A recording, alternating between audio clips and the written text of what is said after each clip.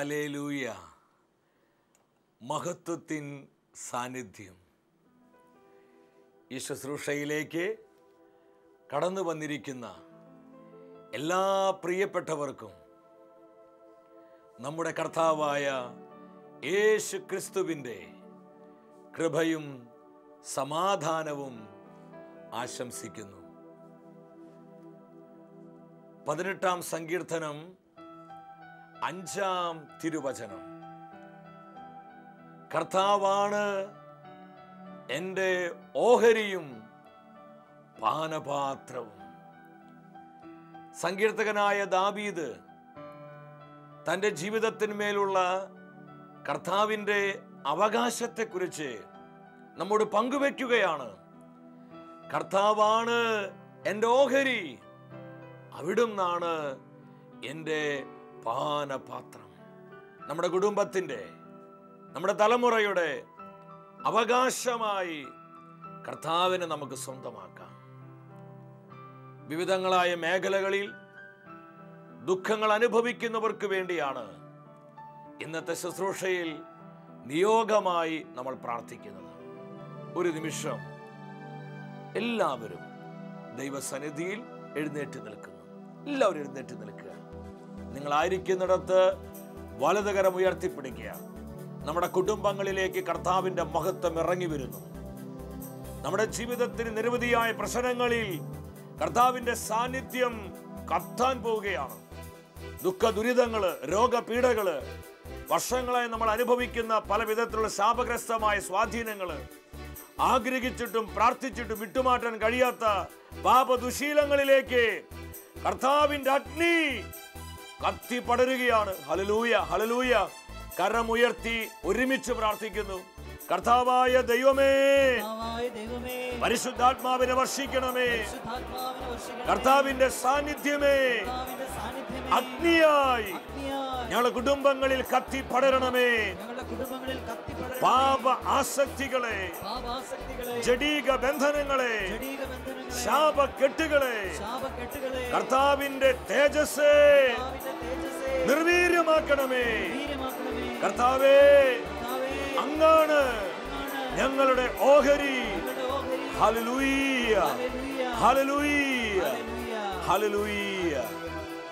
കരങ്ങൾ അടിച്ച് പരിശുദ്ധാത്മാവിൽ നിറഞ്ഞ് നമ്മൾ പാടി പ്രാർത്ഥിക്കുകയാണ്. ദൈവത്തിന്റെ അഭിഷേകത്താൽ നമ്മൾ നിറയപ്പെടുവാൻ. ഹൃദയം തുറന്ന് പ്രാർത്ഥിക്കുക നമ്മളായിരിക്കുന്നിടത്ത് പരിശുദ്ധാത്മ ഇറങ്ങി വരികയാണ്. നമ്മുടെ കുടുംബങ്ങളെ നിയോഗങ്ങളെ ആവശ്യങ്ങളെ തലമുറകളെ ദൈവത്തിന്റെ ആത്മാവിനെ സമർപ്പിച്ച് അതിന്മേലെല്ലാം പുത്തൻ അഭിഷേകം നിറയുവാൻ ഒരുമിച്ച് ഒരുമിച്ച് പാടി സ്തുതിക്കുന്നു. ഹോളി സ്പിരിറ്റ് പരിശുദ്ധാത്മാവെ വരിക വരിക. ഞങ്ങൾ അഭിഷേകം ചെയ്യുക. ദൈവത്തിന്റെ ആത്മാവിറങ്ങി വന്നു.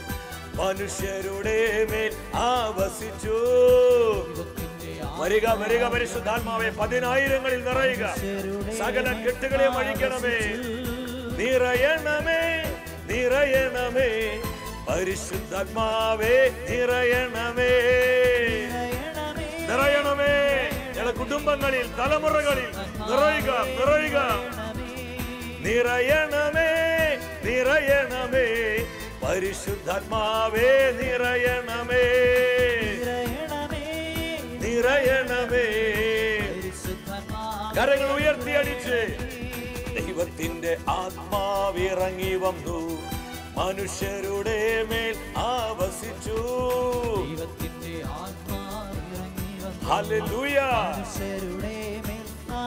നിറയണമേ നിറയണമേ നിറയണമേ. പരിശുദ്ധാത്മാവേ നിറയണമേ. നിറയണമേ. നിറയണമേ.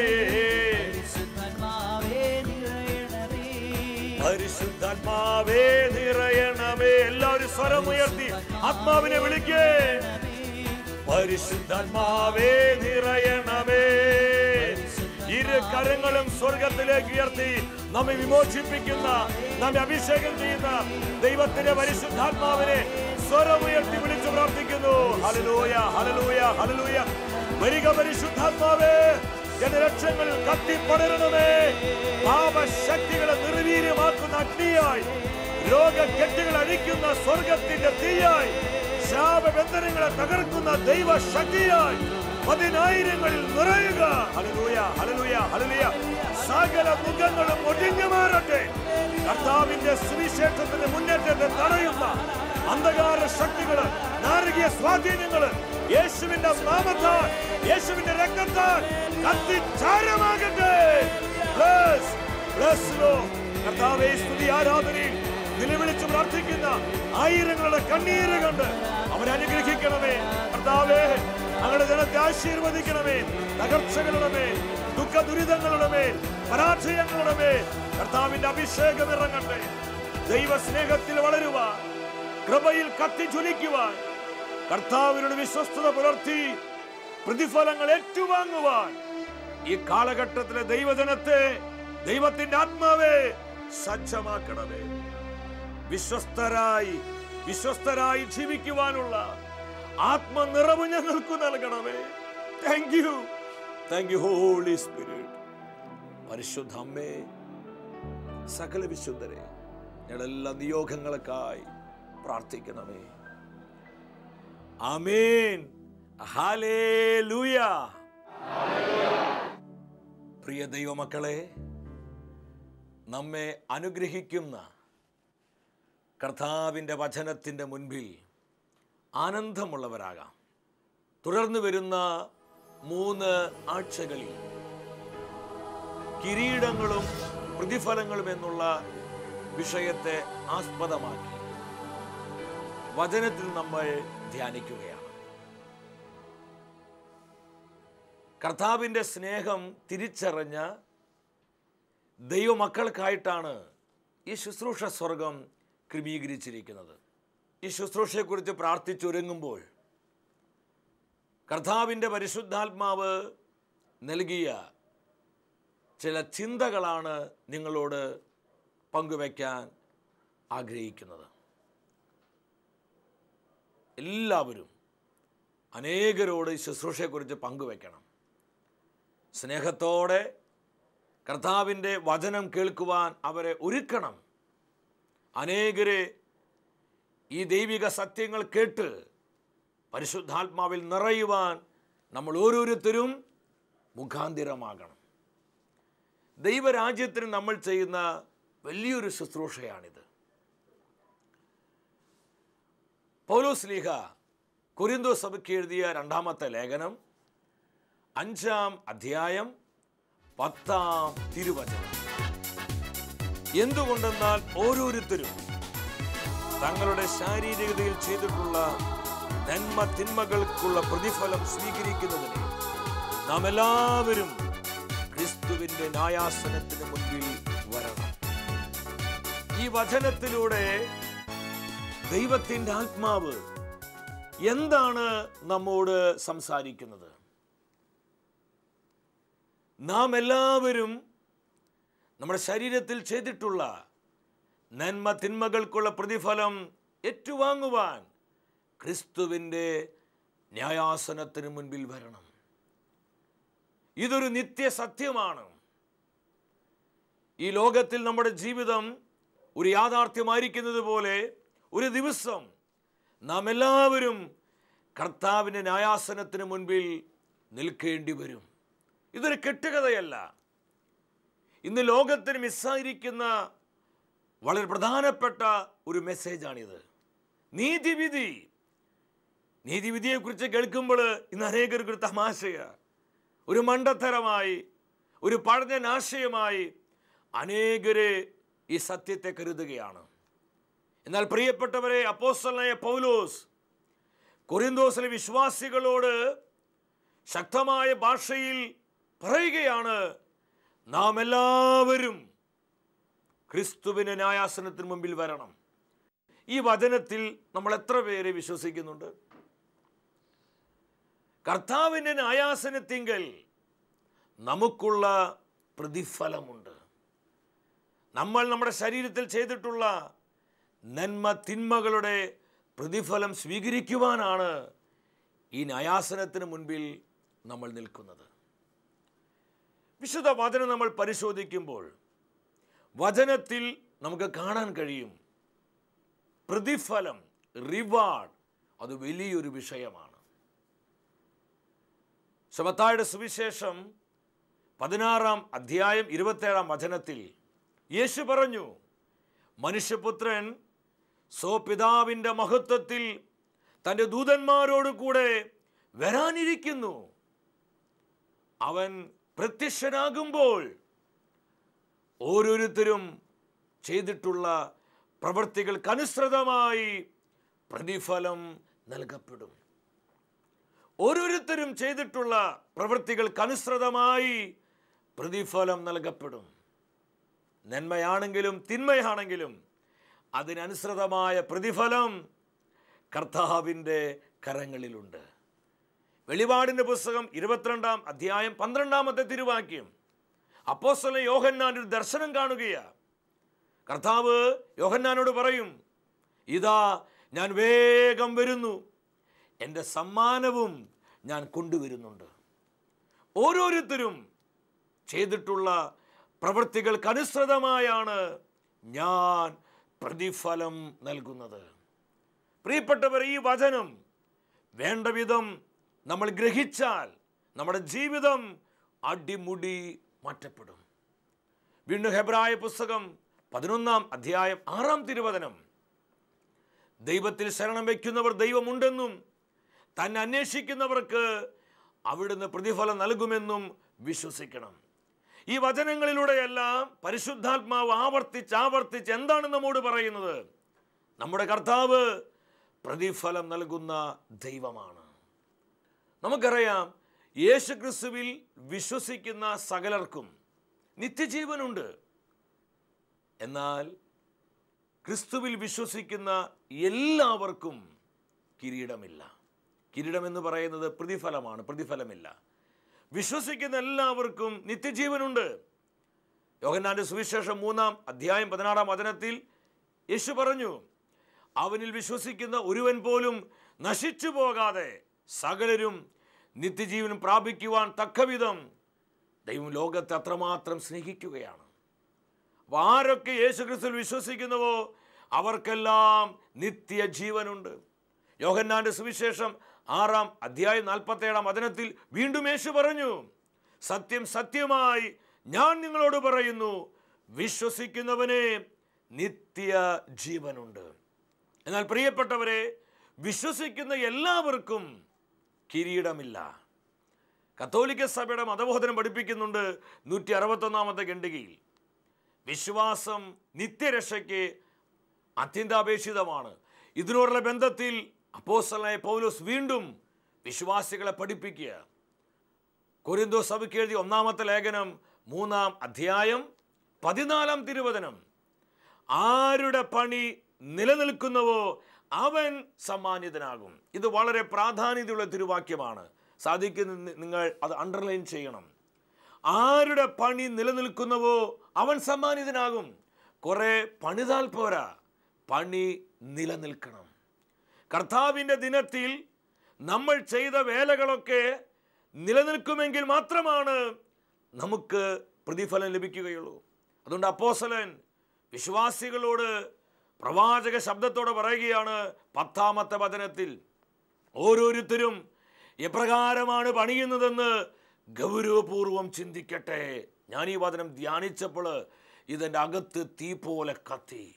ഗൗരവപൂർവം ചിന്തിക്കട്ടെ. ഓരോരുത്തരും എപ്രകാരമാണ് പണിയുന്നതെന്ന് വളരെ ഗൗരവത്തോടെ ചിന്തിക്കണം.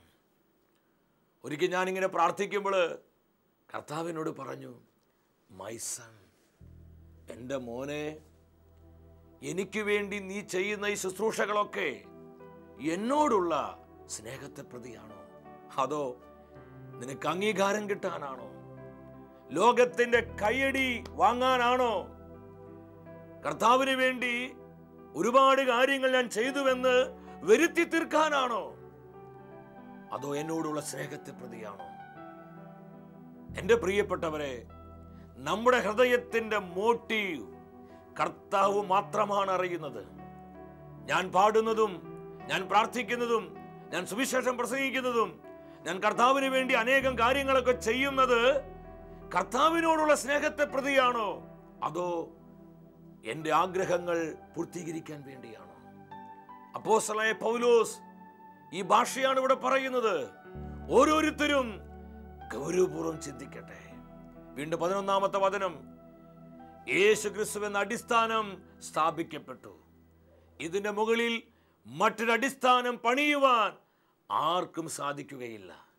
ഈ അടിസ്ഥാനത്തിന്മേൽ യേശു ക്രിസ്തുവാകുന്ന അടിസ്ഥാനത്തിന്മേൽ ആരെങ്കിലും സ്വർണമോ വെള്ളിയോ രത്നങ്ങളോ തടിയോ പുല്ലോ വൈക്കോലുകൊണ്ടോ പണിതാലും ആ പണികളെല്ലാം കർത്താവിന്റെ ദിനത്തിൽ പരസ്യമാകും.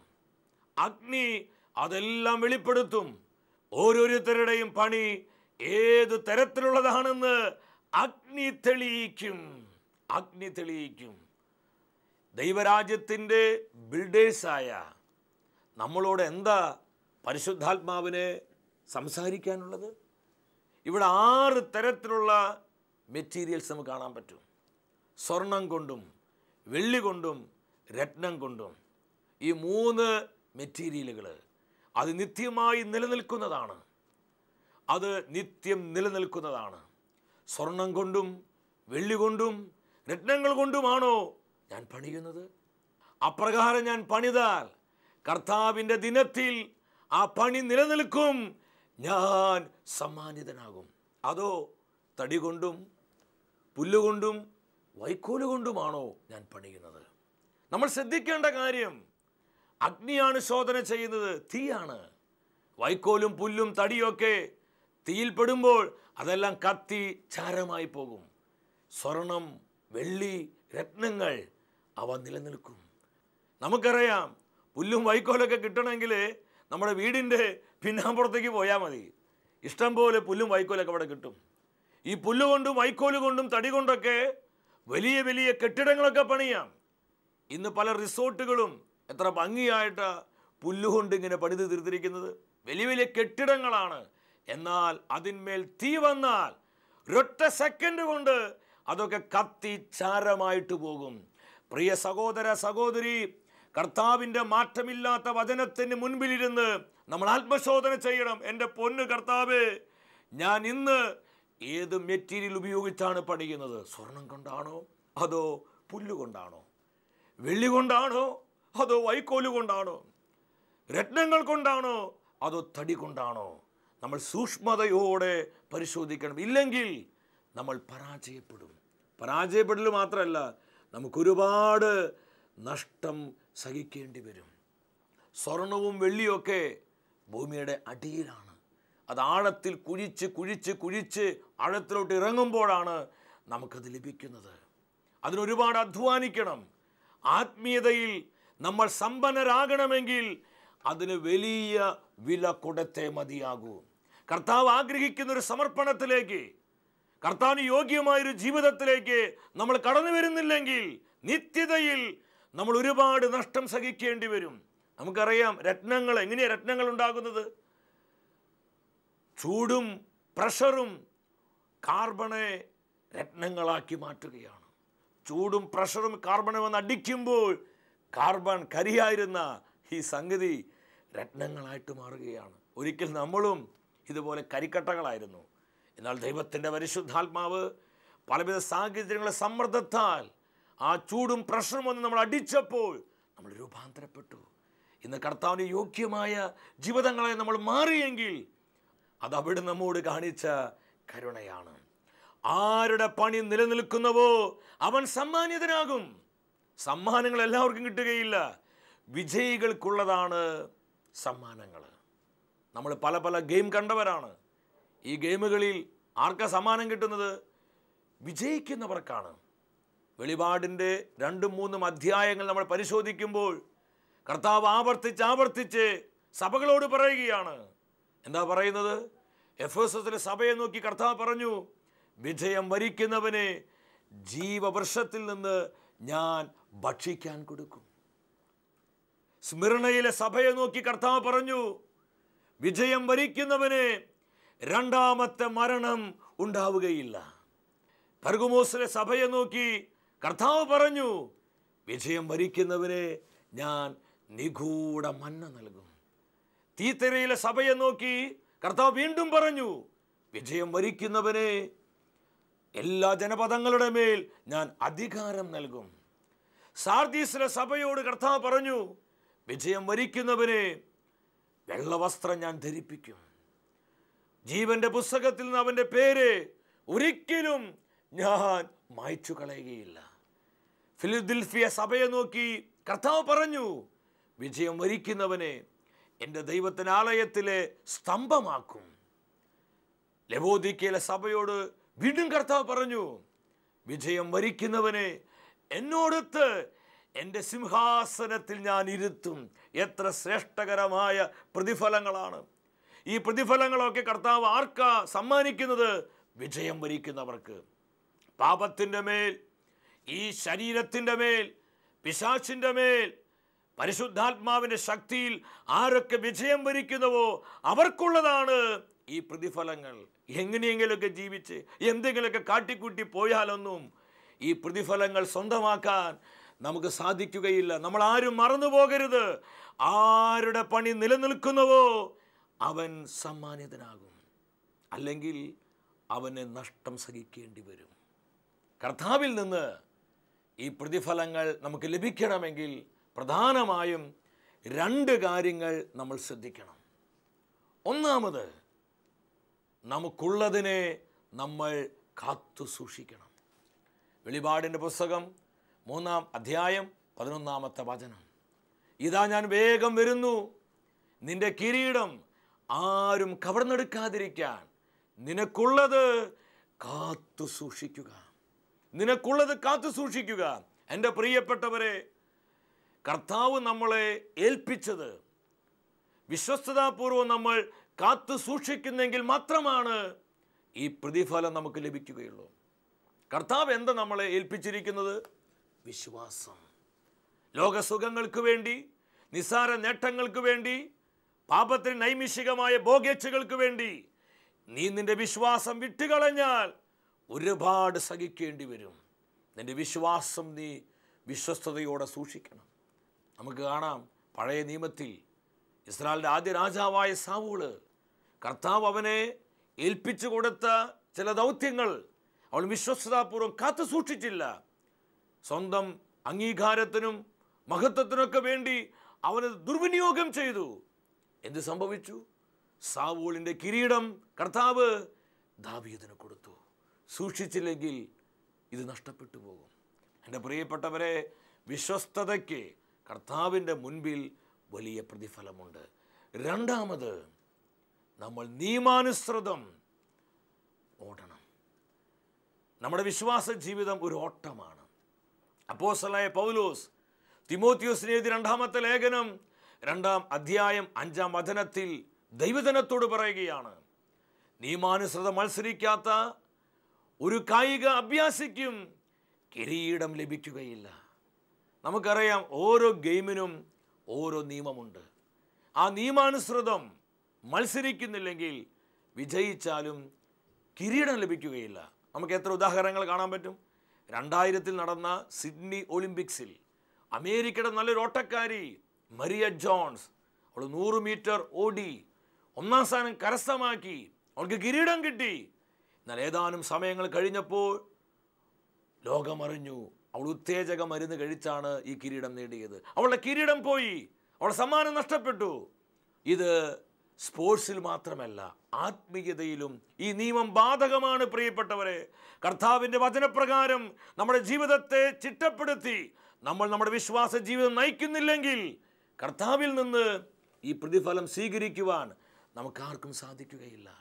ദൈവത്തിന്റെ വചനം എന്നോട് എന്തു പറയുന്നുവോ അതിനനുസരിച്ച് എന്റെ ജീവിതത്തെ എന്റെ കുടുംബത്തെ എന്റെ സഭാ സമൂഹത്തെ എന്റെ പൗരോഗ്യത്തെ ശുശ്രൂഷകളെ എന്റെ തൊഴിൽ മണ്ഡലങ്ങളെ എന്റെ ബന്ധങ്ങളെ ഞാൻ ക്രമപ്പെടുത്തിയില്ലെങ്കിൽ എന്റെ പണി നിലനിൽക്കുകയില്ല. നിത്യതയിൽ ഒരുപാട് നഷ്ടം നമ്മൾ സഹിക്കേണ്ടി വരും. ദൈവത്തിന്റെ പരിശുദ്ധാത്മാവ് നൽകിയ ഈ ദൂതുകൾ നമ്മുടെ ഹൃദയത്തെ പ്രകാശിപ്പിക്കട്ടെ. നാം നമ്മെ തന്നെ പരിശോധിക്കേണ്ട ദിവസങ്ങളാണിത്.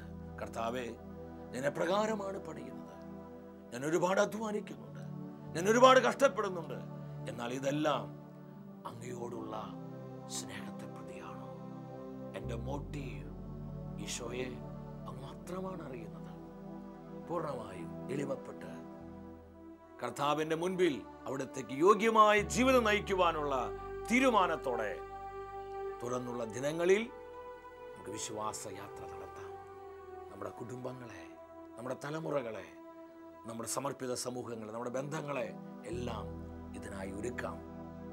വ്യക്തിപരമായ നമ്മുടെ നിയോഗങ്ങളെയും നമ്മുടെ സകല ആവശ്യങ്ങളെയും നമ്മെ ഓരോരുത്തരെയും കർത്താവ് സമൃദ്ധമായി അനുഗ്രഹിക്കട്ടെ. നിത്യസ്നേഹത്താൽ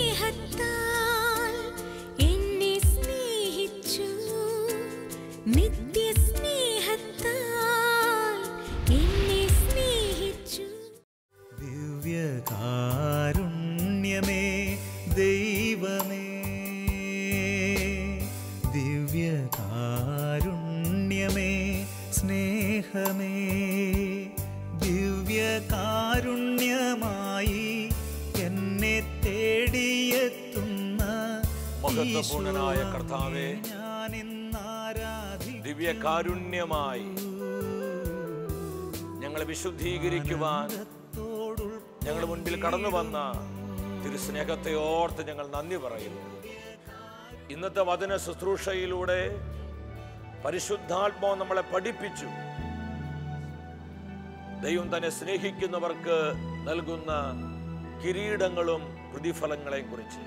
കർത്താവിന്റെ അഭിഷേകം അനേകം ആയിരങ്ങളിലേക്ക് ഒഴുകപ്പെടുന്ന സമയം.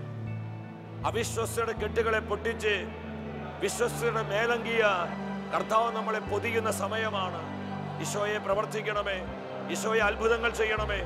തകർന്നിരിക്കുന്ന കുടുംബങ്ങളിലേക്ക് വേദനിച്ചിരിക്കുന്ന ജീവിതങ്ങളിലേക്ക് വിട്ടുമാറാത്ത രോഗപീഠകളിലേക്ക് വിവിധങ്ങളായ പരാജയങ്ങളിലേക്ക് കർത്താവിന്റെ വിടിവിക്കുന്ന അത്ഭുത ശക്തി ഇടിമിന്നൽ പോലെ പ്രോഹിക്കുന്നു ഇരുകരങ്ങളും സ്വർഗത്തിലേക്ക് ഉയർത്തി നമ്മെ അനുഗ്രഹിക്കുന്ന അഭിഷേകം ചെയ്യുന്ന നമ്മെ വിശ്വസത കൊണ്ട് നമ്മളെ പൂരിതമാക്കുന്ന കർത്താവിന് നാമം വിളിച്ച് സ്തുതിച്ചു പ്രാർത്ഥിക്കുന്നു.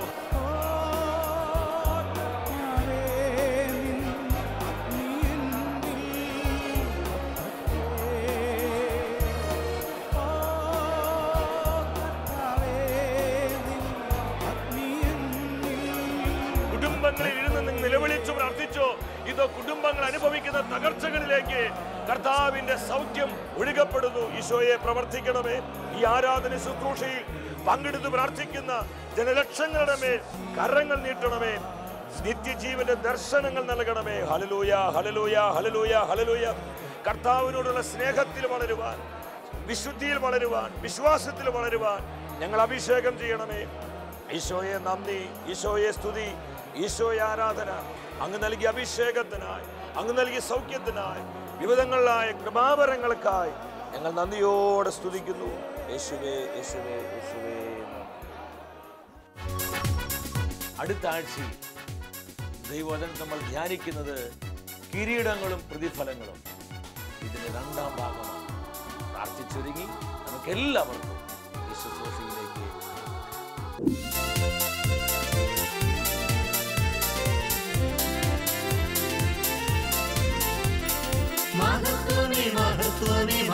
भारतത്തിൻ രാജാവേ മഹത്വത്തിൻ സാന്നിധ്യം മഹത്വമേ മഹത്വമേ മഹത്വത്തിൻ കർത്താവേ മഹത്വത്തിൻ സാന്നിധ്യം മഹത്വമേ മഹത്വമേ മഹത്വത്തിൻ രാജാവേ മഹത്വത്തിൻ സാന്നിധ്യം മഹത്വമേ മഹത്വമേ മഹത്വത്തിൻ